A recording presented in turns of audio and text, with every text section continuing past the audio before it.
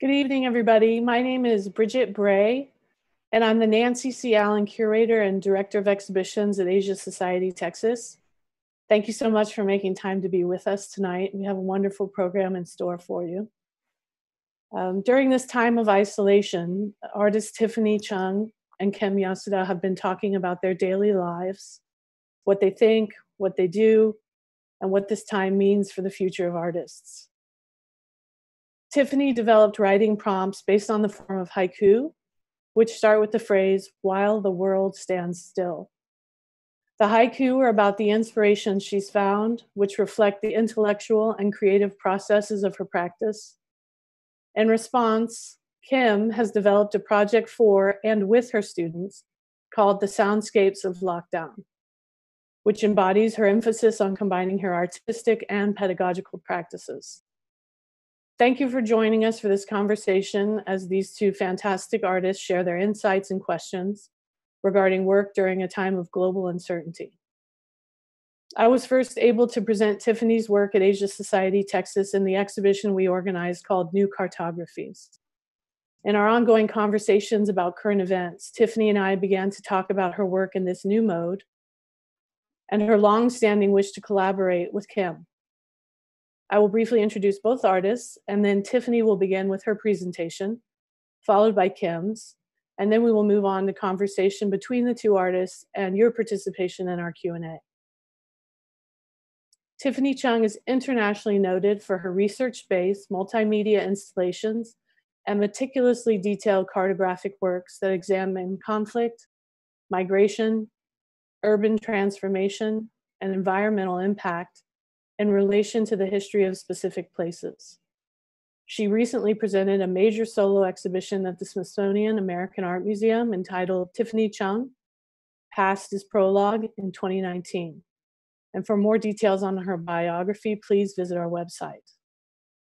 Kim Yasuda is an artist and professor of public practice in the Department of Art at the University of California, Santa Barbara. Her work investigates the role of art, artists, and educational institutions in community development and civic life.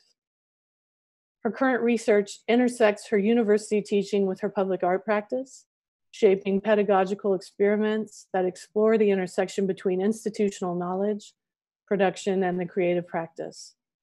Her past exhibition work has been presented at museums such as the New Museum of Contemporary Art in New York, the MIT List Visual Arts Center in Cambridge, and the Art Gallery of Ontario in Canada.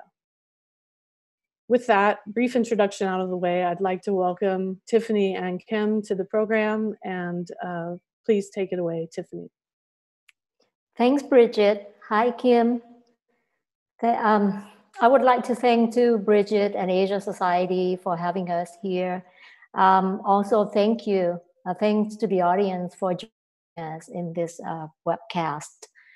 Uh, Kim Yasuda um, is my former professor and mentor who brought me to the University of California in Santa Barbara over 20 years ago. And we always wanted to collaborate, but couldn't figure out how to begin. Then the pandemic hit, and all of us have been stuck at home. Um, so Kim and I started talking and sharing our thoughts, daily activities, and what means for the future of institutions and artists. So um, as mentioned earlier, you know, I sent her some of my writing in the form of haiku with a prompt while the world stands still. She responded. And uh, the back and forth conversation uh, through writing, revising, and thinking together is quite helpful in processing all that have been happening. So this webcast is um, the first iteration of our collaboration. So we'll each read our own writing written during this time, accompanied by related images. And afterward, we'll converse with each other.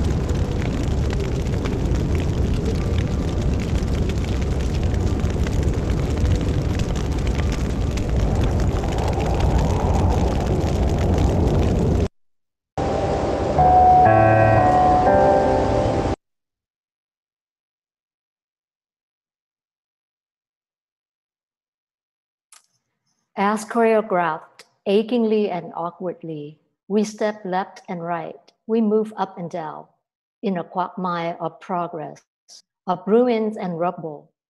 Tomorrow is here. The angel of history awakens the dead. As our world has descended into surreal and crumbling situations this spring, we've had to accept all the changes and adapt quickly to a new normal. We are forced to enter a new era, which feels very much just overnight, even when we still haven't quite grasped hold of our new realities and understood the emotional impact. We are witnessing global history in the making. And in fact, we're writing it. As I reflect all of this, I revisit the two works that I shot in 2011 entitled Thousands of Years Before and After, and When the Sun Comes Out, the Night Vanishes, which depict the post apocalyptic landscape, alluding to the collapse of modern society and of humankind. However, in you know, both films show a group of human survivors wandering in this epic landscape, probably in search of a new home. This gives us a thin ray of hope that perhaps the end is also the beginning, and that nature continues to run its course. While the world stands still, my dog runs and smells the spring. Mom's garden wakes up. Jasmine fragrant blooms, fluttering cherry blossoms, oak trees' new green leaves, lazy afternoons, sun rays dance on quiet streets, cars nap by curbside, dogs and people stroll, but hastily cross the road in distancing mode. Yuzu greets her friends. I pull the leash to keep them many feet away. Cities at a pause, thoughts, secrets, unfinished loves are six feet under. Behind glass windows, we breathe in the silence of our befallen world. Omnipotently, trees rustle in mighty winds Yuzu's daydreaming. Graph and charts play crucial roles in helping us to understand the fluctuating statistics. They visualize depth, not in actual images, but in numbers. We are now have become the faceless and nameless victims that we once encountered in our quick glance at the TV screen on news updates about wars in faraway places. Death has never been closer. Yet it's profoundly difficult to articulate feelings, thoughts, and reflection in such unprecedented times. I think our permeability, not in the biological membrane of neurons, but how we absorb situations and social conditions at times of calamities, is an ongoing process so data uh, and information gathering, uh, writing and art making can help to make sense of the incomprehensible and visualize the intangible. For me, I turn to those around me for inspiration and embrace sober observation through writing. 8:30 p.m. He grabs some coffee and goes, working through the night. Do you have face masks? Workers look at him and laugh. Where can we find them? No stimulus checks, an invisible workforce. We exist to serve. Socially apart, we dream and look to the sky in all four seasons. While Houston houses the fifth largest Central American immigrant population in the United States and is home to the third largest Vietnamese American community, that came here as refugees. Um, unpacking the, co- the complex experience of refugees and migrants with their contribution to society reminds us that the United States is built on the blood and sweat of immigrants and will continue to be that way.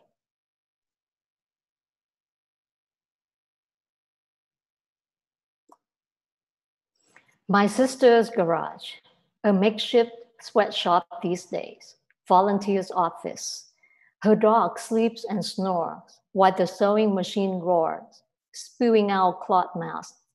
She recalls the past, crossing the threshold of life into adulthood by earning pennies, sweatshops, food courts, airports. Blessings overflow. Grateful words uttered without a sound or a phrase, giving back gesture. She iron and packs thousands of colorful masks.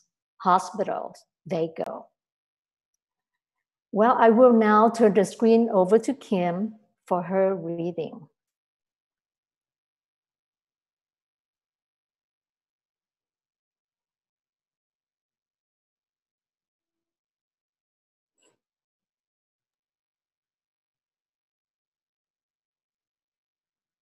I'm muted. Okay. I am going to start here. Um, and I just wanted to say that uh, what cut what in response to Tiffany uh, was this I was I'm in the middle of teaching two sculpture classes remotely to beginning students. And uh, the assignment I was giving was um, recording their sounds, the interior and exterior of their sounds. And so the soundscapes of lockdown and in fact, a lot of my lecture and a lot of their work is woven into this uh, as a kind of poetic response. So their prompt is actually um, translated into this kind of poetic that Tiffany initiated.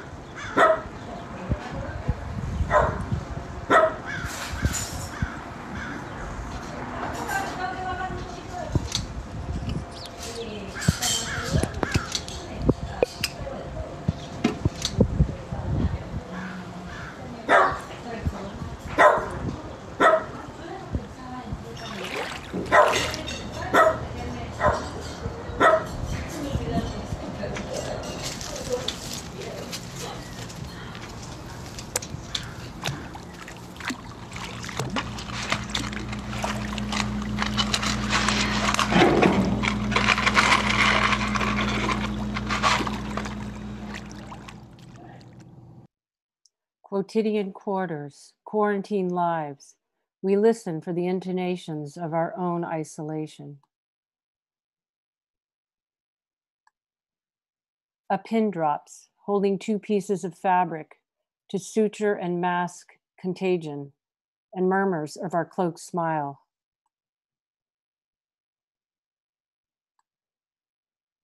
We listen for the voices in our head singing a somber tenor of retreat or boredom or the fretful pitch between union and claustrophobia.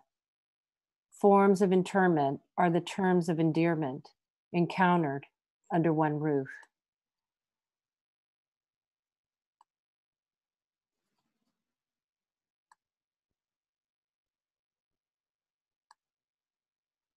Self deportation, voluntary incarceration, Objects in the room speak in tongues, routines, Zoom chatter, the buzz of media, tales of care, of forced labor by the essential ones, the infirmed reaching out for unobstructed air.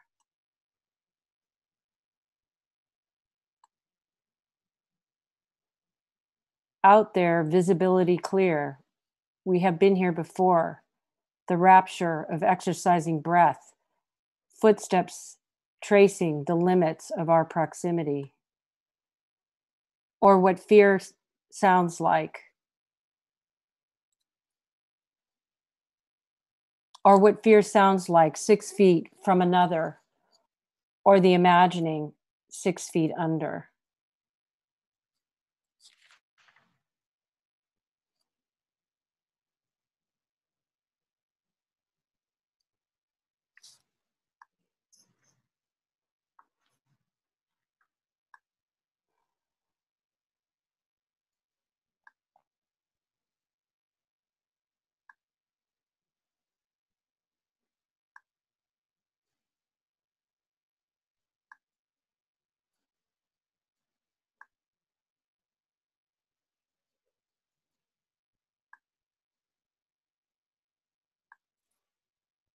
humanity in recession, an orchestrated diminuendo, the viral reckoning of scores, the wilding of borders and formerly occupied territories, terraforms.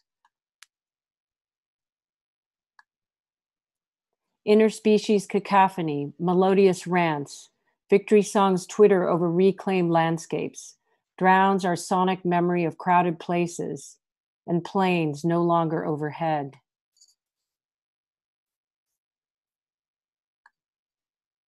We hear as never before, and these songs of silent spring have changed us. Listen.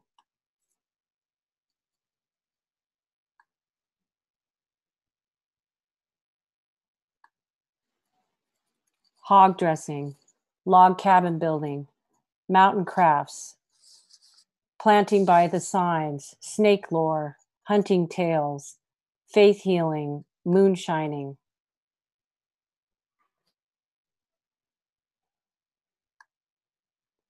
Ghost stories, spring wild plant foods, spinning and weaving, midwifing, burial customs, corn shucking, wagon making.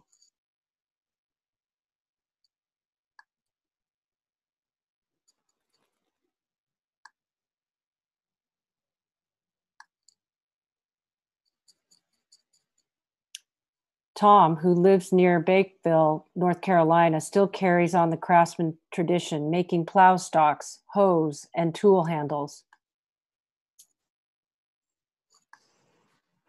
Animal care, butter churns, ginseng.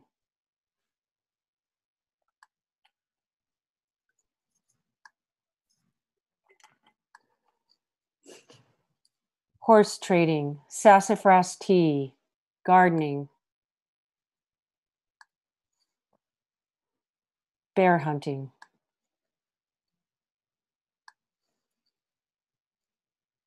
Wooden locks, a power sawmill.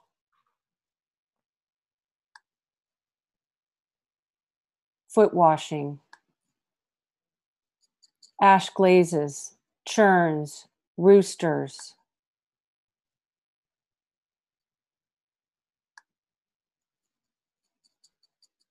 A prayer praying rock, quilting, home cures, the log cabin revisited.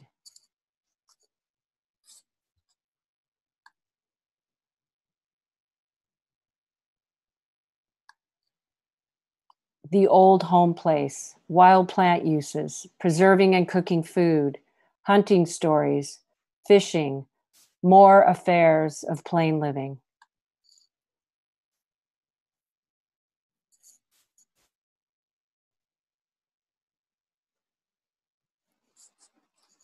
And I'm going to come back in.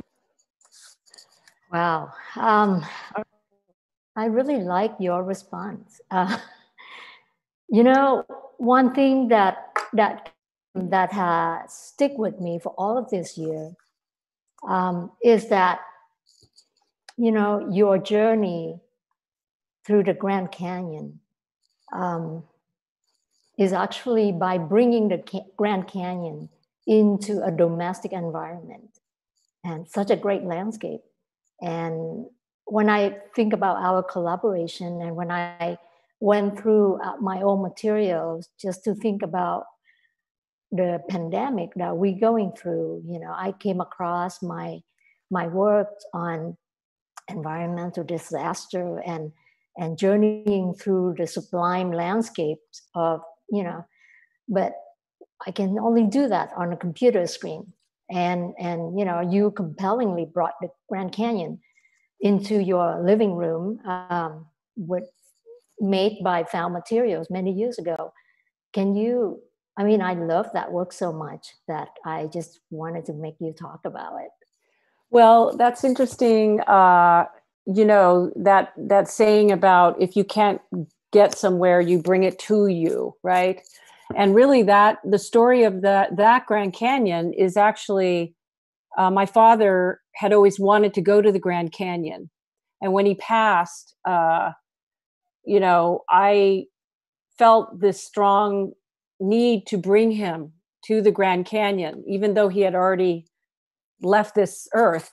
And um, I I metaphorically thought about all the years he had walked on this earth and how I could actually take his domestic space, the carpet he walked on, and then translate it back into the highest peaks of the Grand Canyon. So those are USGS maps made out of carpet um, of the highest peaks of the Grand Canyon. And uh, the piece was called Resuscitate, and this notion of bringing life back to something that we think has passed or is gone. And it just changes forms, it just changes into different materials and different air. So that was really a commemoration to my father, but it was also a material exploration of bringing outside in and the inside to be much more expansive. Right. And what, you know, during our conversations, like many conversations that we've had, um, you know, you talk a lot about how my work kind of like reaching out globally, um, you know, in terms of scale, uh, which I've always wanted to do, um, not really looking at my own personal experience and, and just focusing on that, but expanding that and connecting m- my own history and the history of uh, the war in Vietnam and the exodus uh, in the post 1975 um, into the much larger global context. But you know, but given this pandemic, right? We we hear and we just kind of in our own little space, and we all in it together. And I just, um, you know, I feel that your work focusing on the individuals have become has become so much more important to me as well. Um, do you want to continue on that? um, yeah, you know, I think, I think, uh, the, I, I guess I, I think about sort of um, you know, I wake up in the morning thinking about the word less now, and this notion of less is is more, um, less heroic, less distance, less consumption, less grand, less fast, right? And how, and this like sort of bringing us in and sort of, you know, this this forced stillness has, and and you see that in the images that are in my surroundings. This kind of very private and contemplative rumination over what it means to just be within our own footprint right our own borders and so i guess um you know i had already been sort of oh you know as as uh, my career took me more into really valuing where i lived and worked. Like i i had traveled a lot and there was always this sense that i was sort of a foreigner or kind of zooming in doing something and moving out. And the idea of actually um, when i worked in Chiapas as a volunteer and then i left after six months i realized that the work that needs to be done is right where i am and therefore you see my work has really turned to the students and the community the immediate hyperlocal context of my surroundings and so I kind of have already sort of retreated into that. And I think it will be very interesting and in seeing sort of how your global, both geographic, physically, and metaphorically work really does have this um, capacity to inform the local. You know, this is the thing that not just myself, but I think a lot of us in the art world have started to think, right? especially when air travel really puts you at risk. What do we do? So I think myself personally, I, I start to think about localizing my artistic practice. And I think even for institutional programs, right? What do you do when you can't fly artists all over the world uh, to you? I think it's time to, um, you know, invest into the local communities. And I think, you know, when we internalize the values of local communities and engage with them, um, or the outsourcing versus insourcing and making do what what's available, I think those are all the things that that we've been thinking about. But again, you know, it's just like we're like thinking out loud. Um, a lot of what we have written are fragmented or incomplete. You know, we just flesh out ideas. We just need to do it. Um, and you know, the unprecedented challenges brought about by this pandemic really usher in new forms of collaboration and push us to just begin with whatever means we have. So I think that's how we started. Right? We we took forever to figure out how to start. Then we just like, okay, well, we will just start. And that's what we are at. Um, but one thing that I find quite impressive with, with your uh, work or your ways of living and, and also teaching is that sharing the knowledge and also, you know, learning from your students. Um, but it's, I think those, especially given the circumstance that we're in, is so much about, um, you know, the kind of resilience and survival skills right? I think now we talk a lot about resilience. How do we you know how do we move on from here? So yeah, and you know what you just said about resilience and i what what kind of um seeps into what i think about and the images of the, the of my father's tools and the fact that he saved string you know and i and then i saved it which is is the past is prologue. We have to look, we actually don't go back like the angel metaphor in Walter Benjamin, but the past is a prologue and it is a guide and it does have instruction, you know, instructive, simple, and, and obviously even more so going back to um, indigenous knowledge, the, the earth and its lessons, you know, and so I'm really seeing that um, resiliency is within this turning back to you know uh, what is available what is free what is sustainable what is regenerative thus you see you know all of the materials the plant dyes and those are the assignments i'm giving my students right now to work with hand tools to dig holes in the earth to um, to make things with their hands uh, without technology and without uh, all the trappings of consumption. A lot of them only understand that they need to buy art supplies. And I, mm-hmm. I'm trying to turn them back to no, these are the essential materials. Right. So it has a lot to do with vernacular knowledge, local wisdom, yes. right? So now we all have to really sit and reflect and think about what we can do. Like a lot of artists have uh, been outsourcing work, you know, yeah. like have big things produced in China. And I wonder how that will all play out now. Um, but one thing I think about a lot is that, you know, Walter Benjamin, I mean, I love Walter Benjamin. That's why I quote him a lot in my work and my writing. Um, he wrote that tra- the tradition of the oppressed teaches us that the state of emergency in which we live is not the exception but the rule right so wow you you know a lot i i've heard a lot about um, when we'll be back when life will be back to normal right and i think we just need to redefine what normal is and we can only hope that life will return in this new normal so and normal yeah normal may yeah. not be as much as right. before. It may be able to be less than what our former lives expected, right? And the cons- and the the kind of um, vast uh, supply chain and and and economics that were involved in that.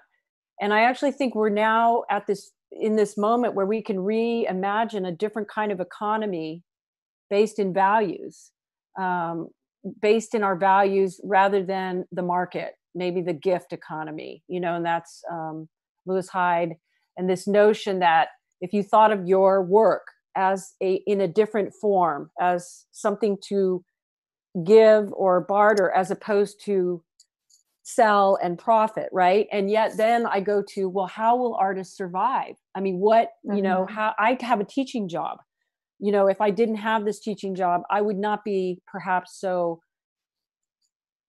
uh, you know presumptive about the economics of the gift economy but i think there's something in that mode of operating that people are going to be very drawn to in this next um, iteration of art production. Um, I was just talking to an artist, Beatriz Cortez, who actually her the people that help her make her work are you know often immigrant but they also she she really takes care of them like part of her um, creative practice and it's it's a it's a beautiful kind of economy that she's created uh, with herself and her uh, collaborators. So. Right. Um, yeah. Do you think you know let, let's be really practical. I think we talked about how to do studio visit. I mean a big part a big part of uh, of an artist's career or an art, artist's practice is to have studio visits because if you're just hiding um, in your studio and nobody can see what you do, um, what's the chance for your work to get exposure? So, you know, ask the teacher um, if you are going to invite an artist to to do like before you would invite an artist to give a lecture at UC Santa Barbara. What would you do now? Well, we're actually, you know, part of the class that I'm doing is these remote studio visits with um, with artists, uh, like Beatriz Cortez visited. Uh, we visited her studio on Zoom, and while inferior in terms of embodied embodied experience, getting a sense of where she's, you know, quarantined in her her domestic space the work she's trying to do in that limited situation um, actually gave a whole different dimension that changes even the concept concept of what is professional right mm-hmm. like now that we're seeing all of us kind of in our domestic spaces as mm-hmm. backdrops or some of us in our studios it actually has changed this whole notion of a kind of uh, way of being and mm-hmm. so i think that it's opening up the porosity between one's personal space and that of of your your professional life and how those can actually enhance right our experience. But um i mean it, it certainly it made us all want to go see her studio and the uh-huh. huge project she's working on for rockefeller center. Right. A big rock. And so that was um you know i think uh but I think the the economics of not making that artist come all the way from another place and pay for the travel and the time and energy it takes really has to be weighed out mm-hmm. right so the remote can actually offset this this very precious and rare opportunity to be immersive to be together really intensely you know and so i think it's going to be this kind of balance between the remote this and then you know well, the, it has been quite challenging in has. terms of you know technical issues and all that. So there's going to be a lot that we have to continue to work out to think about and to to adapt to. Um, but what I have you oh sorry. I'm sorry go ahead. No what were you, what are you thinking about especially because your practice is so reliant on in-person studio you know what? Actually, since I moved to Houston, I, I don't really have many studio visits um, from international visitors uh, compared to when I was living in Saigon mm. um, or even, you know, um, in, in Japan at one point. So um, I don't know, Kim. I mean, you know, I do what I, I continue to do what I always do, which is um, researching, um, writing, reflecting, writing, observing, writing, making work, and just you know just just continue to do what I always do. And as a, a studio-based artist, it's not that much different. Uh, but of course, you know, um, under the lockdown, is it has been tough for a lot of us. You know, we a lot of shows got canceled um, or delayed um, until further notice. So we don't really know. It's a lot of uncertainties. But I think you know the silver lining from this pandemic is it's, this is like so fiction like and it's global so we all in it together and i think that we will emerge from this more prepared you know because tomorrow is already here many years ago i did this project um, it was called tomorrow isn't here. Of course it discusses the wreckage of progress um, referencing walter benjamin again.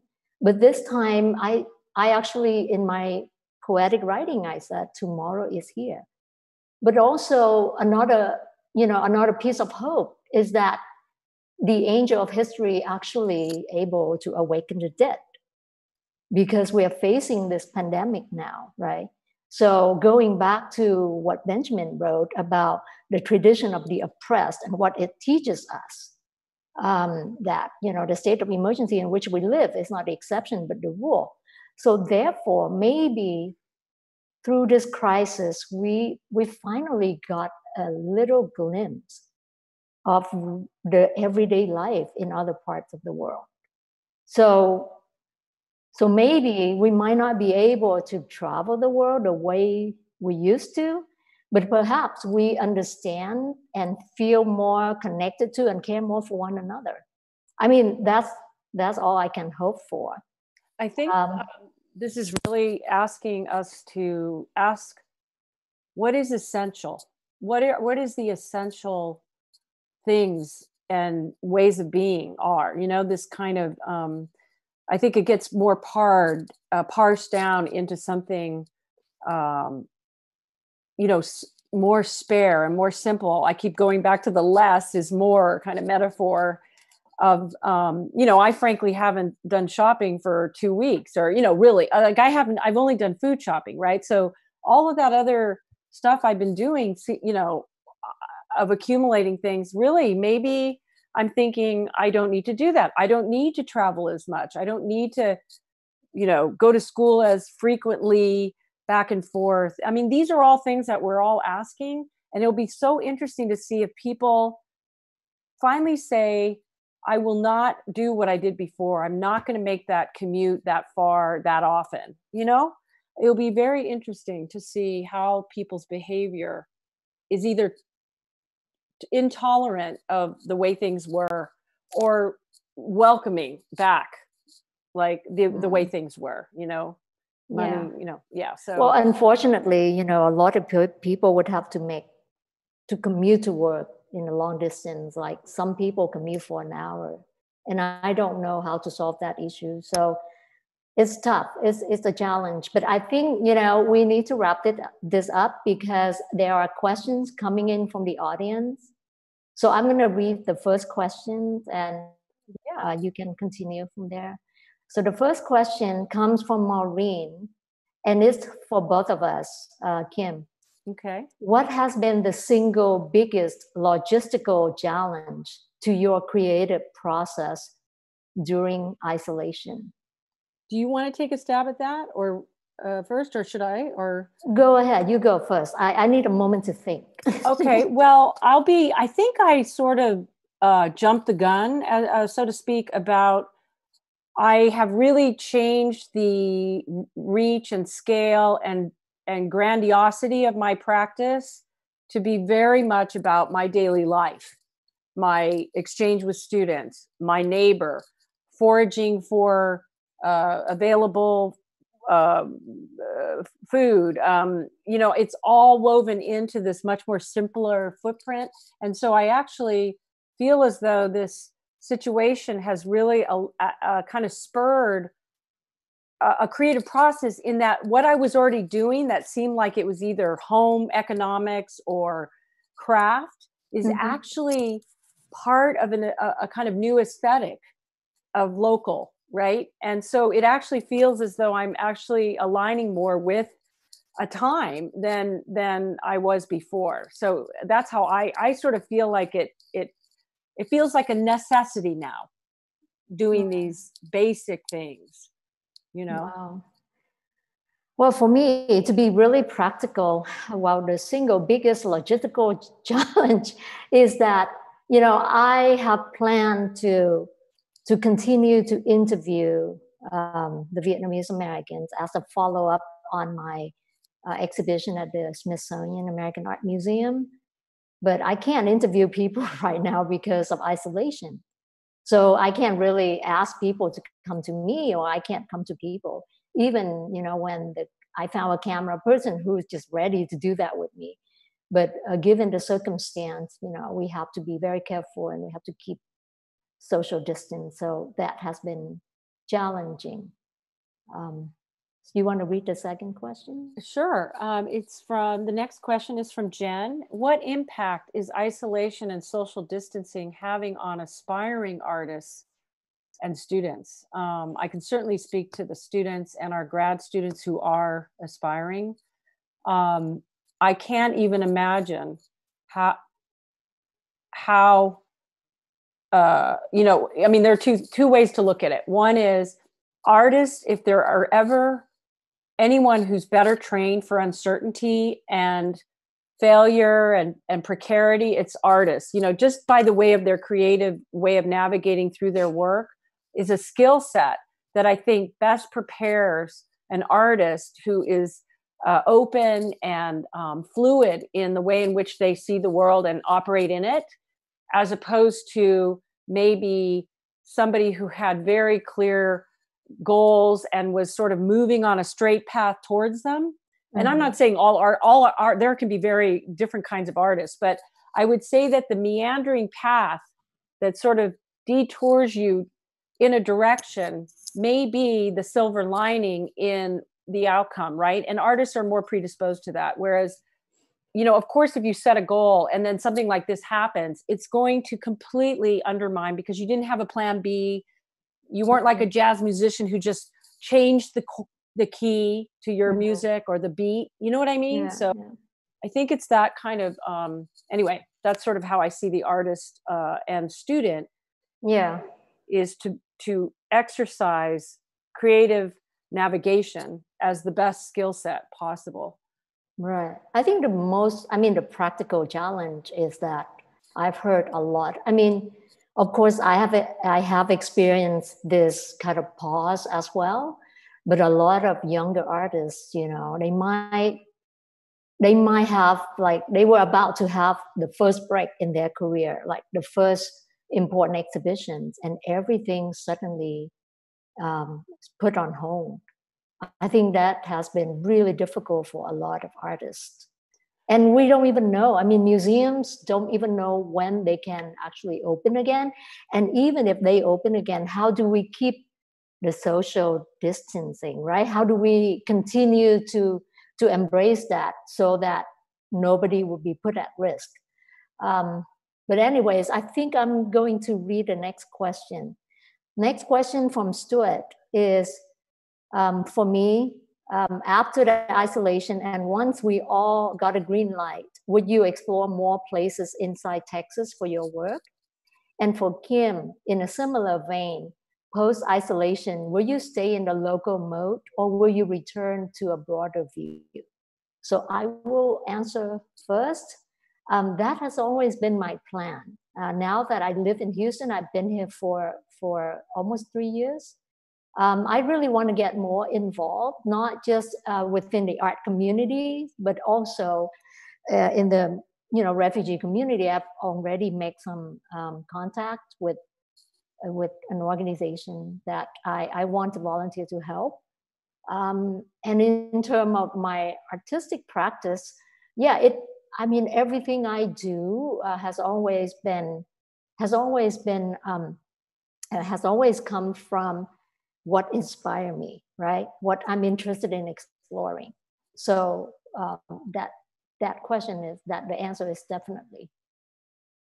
Yeah so um uh, in you know i uh, stay local and return uh, mine was you know am i going to stay local or am i going to you know run out of the house screaming uh, for freedom? Yes but um, in terms of broader view i think Um, I think that I just keep thinking about these questions as there are many ways to be an artist. I do. I mean, there are there are you know many ways in which we enact our our creative self in the world, and I think for all of you le- moving out in the world, the fact that you can sort of kind of shape shift in these different situations. At times, maybe you're a good listener or a witness. At other times, you're you know a proactive participant I think that we have to get used to the idea that the world needs artists. They need you. Mm-hmm. And therefore, you have to make yourself useful in your role in the world. And it may be um, not in the form of a museum, but it might be a balcony in Italy where you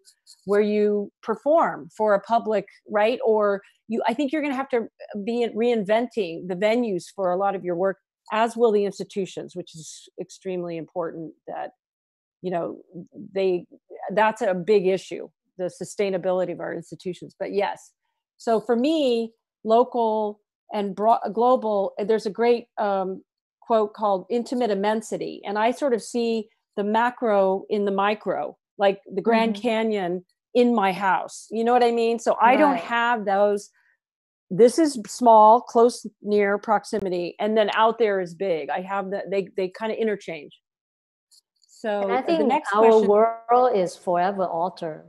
Yes. I don't think it's is the same anymore, right? Oh, definitely not. And so, so we have to actually be prepared question. to be unprepared. Um, actually, there's a, a good one for us um, from May, and she says, I'm so impressed by the collaboration ex- and exchange. What do you do to keep your creative battery charged given everything going on? That's a great question. So, Tiffany? Huh.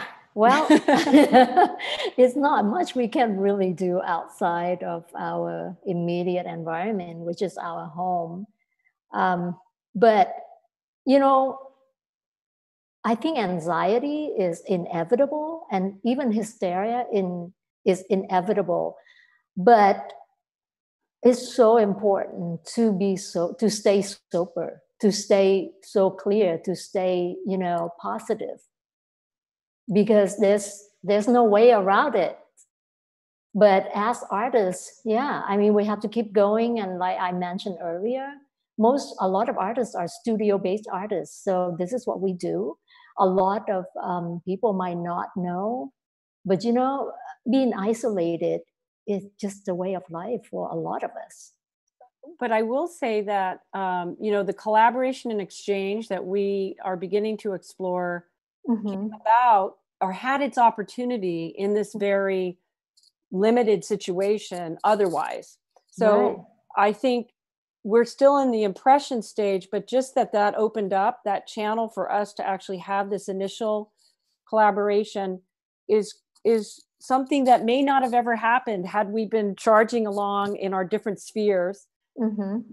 And so I think that, you know, we always have to see sort of the opportunity and the limits, right? Mm-hmm. That there mm-hmm. some sort of way forward. And so that charges me a lot. Um, the mm. the I look at the cup half full and say, now Tiffany and, Tiffany and I have had a meaningful exchange, and we're hopefully going to be building it beyond this. Maybe with work, I would love to collaborate in a different, in many different ways. Yeah. And so I think um, the working together, mm-hmm. that the solo artist mm-hmm. is not always, uh, the solo artist is never really solo, right? There's a whole infrastructure supporting that artist to make work. Mm-hmm. So now I think artists might think of themselves, the ones who were alone, more in a kind of community in some way, right. maybe. And also in terms of, you know, the creative uh, activities, it's i have to admit i can't just make work about what's going on in the world right now. I cannot make a visual artwork about that right now. It's still time to reflect. It's still time to absorb. Like i said it's, it's an ongoing process and it's a very slow process.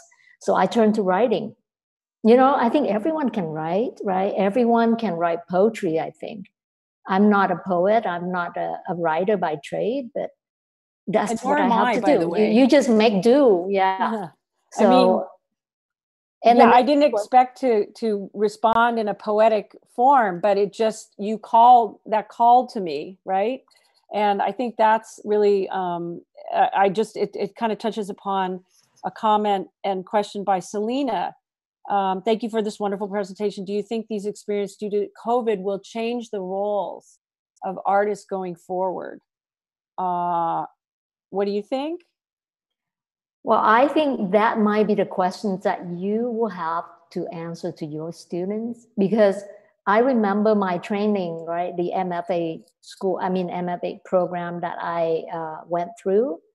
It was a very different training that I had back then, right? About the art world and the, the economy of the art world and uh, what we're supposed to do to make it in the art world. You weren't baking bread, that's for sure. so,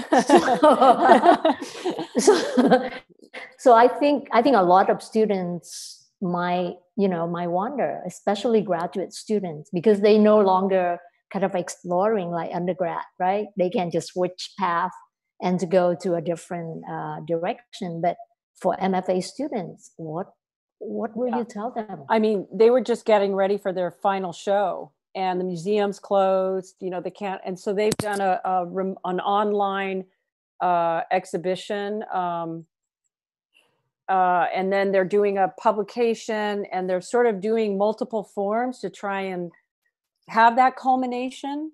But um, i think you know when you talked about research and writing and um, that that you're, you're, you're sort of broadening the the kind of um, forms and reach of your practice mm-hmm. says.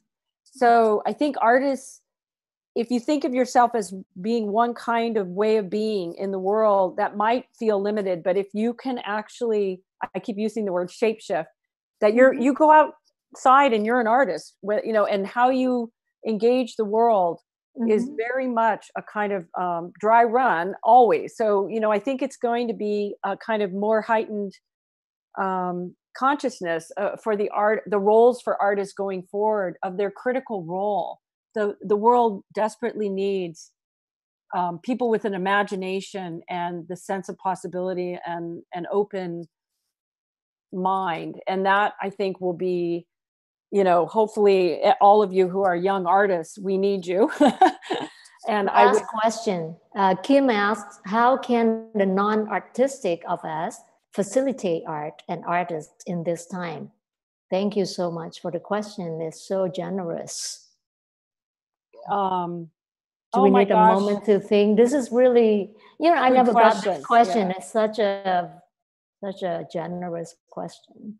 Yes. Yeah, so I think I will say I am not a believer that there that I think people have aptitude and gifts and some are have the calling to be artists but i think n- no one is not an artist not artistic okay and not a creative person and so the best you can do for the artist is to um is to work with them and be with them and you know yes of course i don't think it's a one way street in other words the non-artists support the artists you know the rich people support the artists it's it's a dialogue um, mm-hmm. um we artists need dialogue with refugees, with neighbors, with um, you know uh, uh, field workers, with academics. Right? We need that dialogue to fuel our work. So just being in conversation and being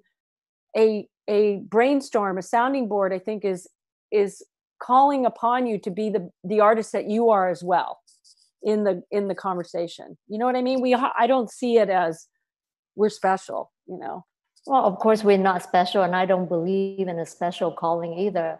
But what i can say is that i have seen um, the so-called non-artists.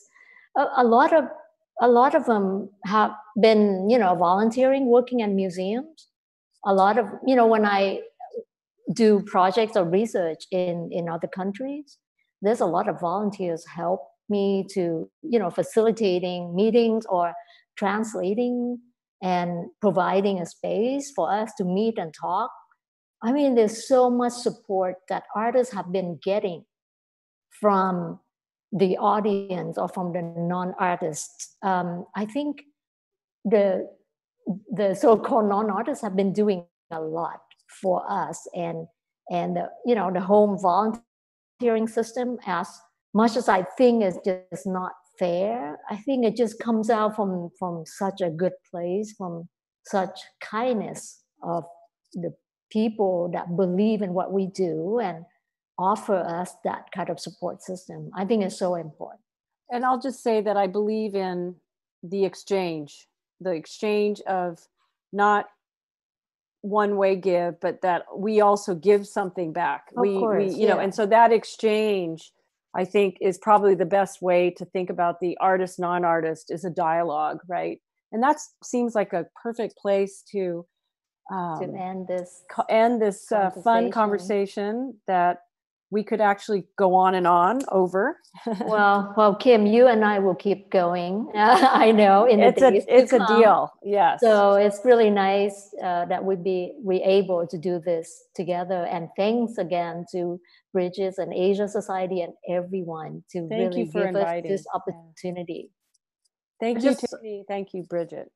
I want to repeat again our immense gratitude to both of you for sharing such great wisdom and inspiration with all of us on the on the meeting tonight. It's really been just so enlightening. Um, we're delighted that you could all be together. I really love the observation about this idea of elasticity of scale as we move between outside and inside, the historical and the personal, and the individual and the collective and just uh, you know for us to all go away this evening and think about what is essential i think that uh, that's something that we can all muse on for quite a bit. So a huge thank you again and i hope if you're in the audience um, you've really derived a lot uh, to consider from what kim and tiffany shared.